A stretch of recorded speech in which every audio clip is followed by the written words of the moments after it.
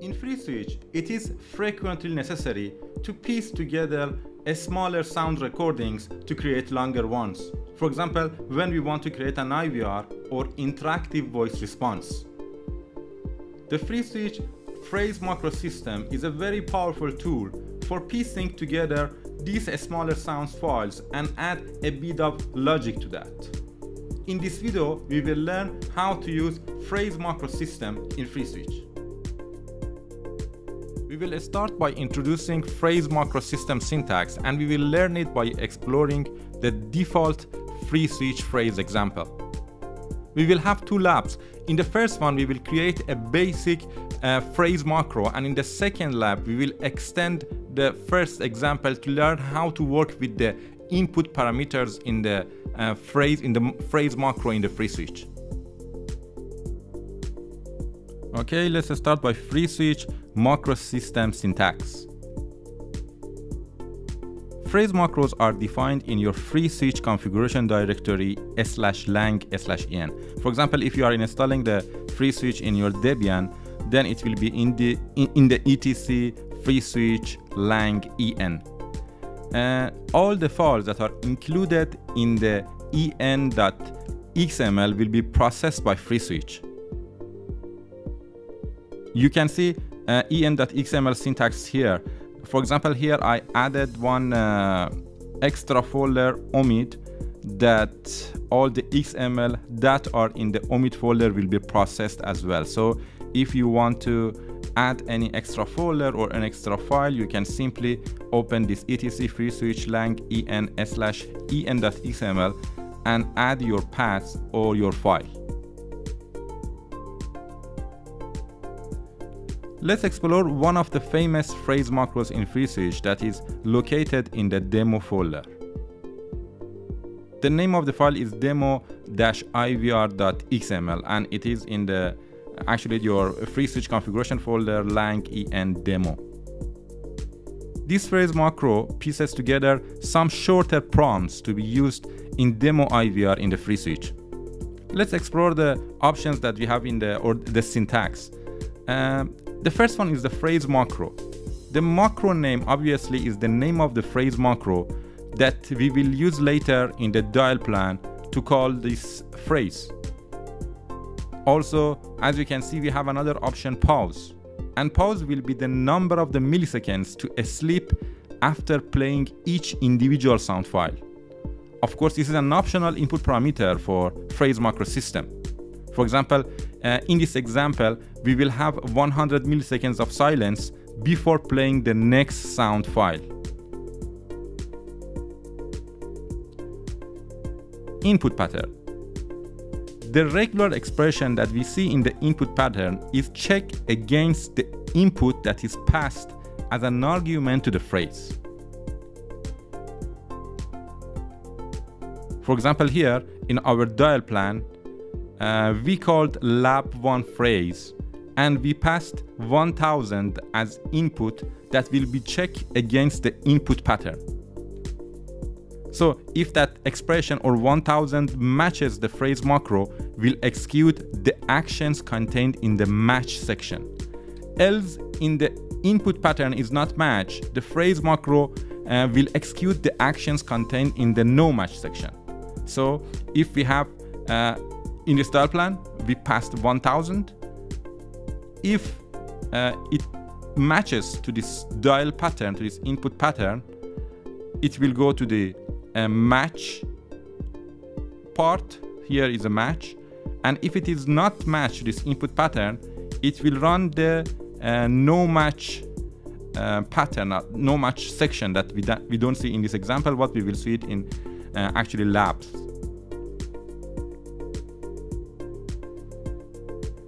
Let's get into action by creating a phrase macro to read the number of messages that we pass as input.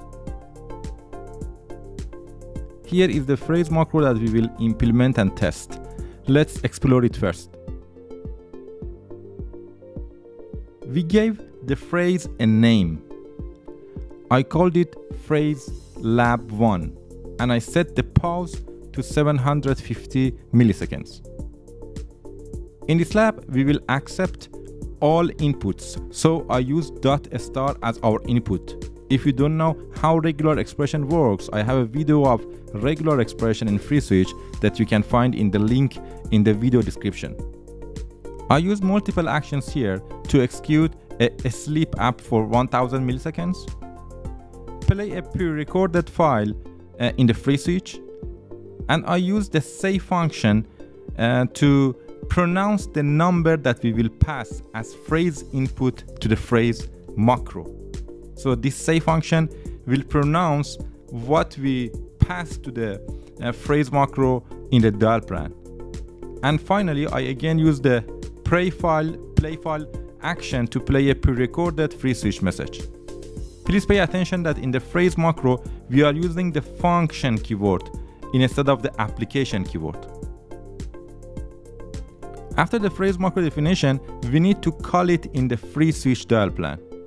Here I defined a testing destination number and I answered the channel and I called the phrase macro with the application keyword of phrase and I passed the phrase macro name and input, here is 1000, as data for this phrase macro. And finally, I hung up the call. Now let's test our phrase by calling the testing number uh, 5555. So let's give it a try. I'm using telephone softphone here and I'm calling the testing number.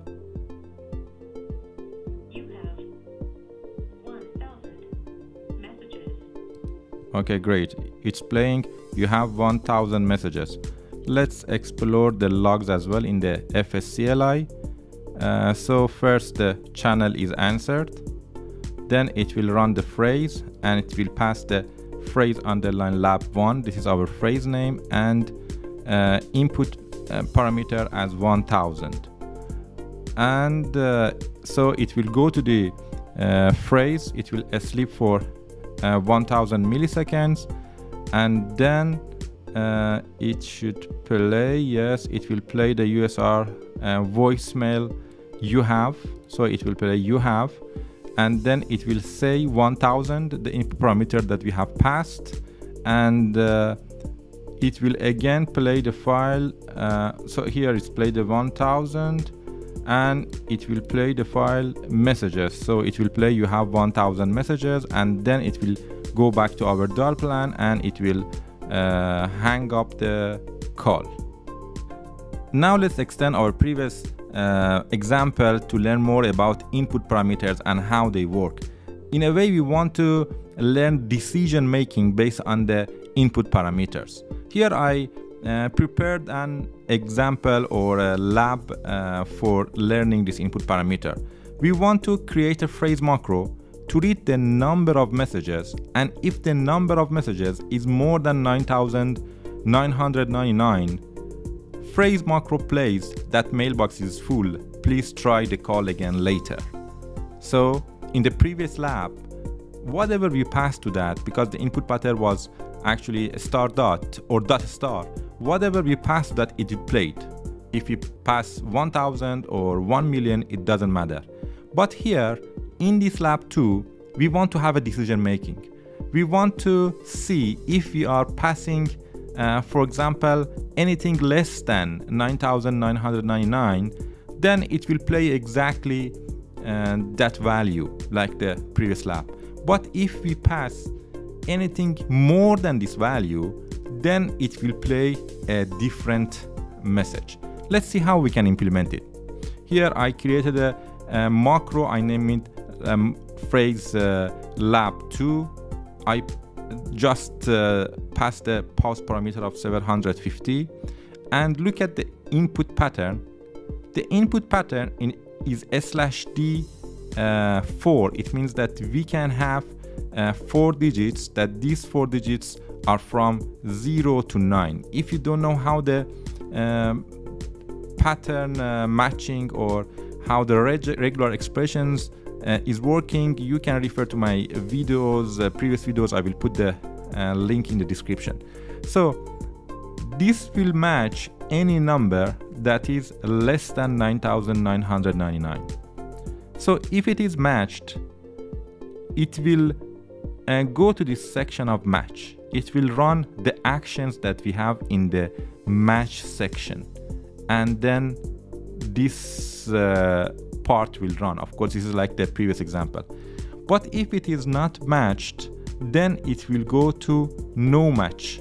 It will go to no match section and it will execute uh, 1000 sleep and then it will play uh, mailbox is full and please try later or whatever message that we uh, play here again i'm emphasizing uh, pay attention we are using function here and not application uh, okay that's how the input pattern and decision making and match and no match works here. Uh, of course we need to uh, call this uh, macro phrase in our dial plan. And for testing for example here I create an extension. I just gave it a uh, sample extension number and then I answer the channel and I uh, call my phrase.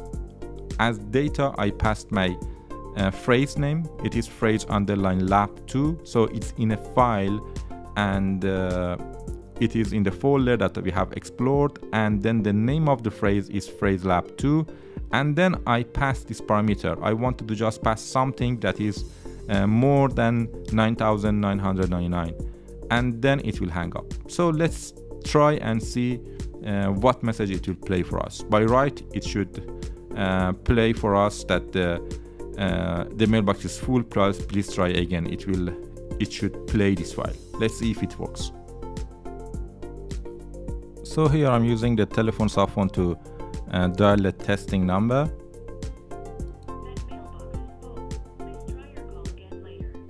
Okay, great. So it's playing the right message. Let's just see the sorry, 3.2 exit.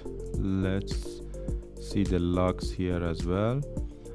So when we called it's actually called uh, of course the above is the applications other applications that we have. Then it will call the phrase lab2 and it passes the, the uh, number.